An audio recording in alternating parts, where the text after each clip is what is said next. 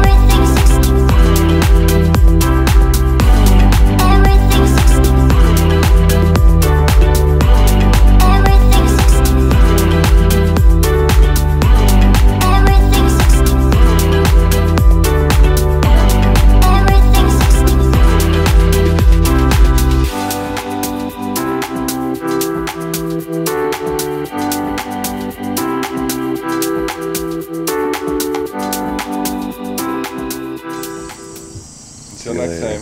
See you guys next week.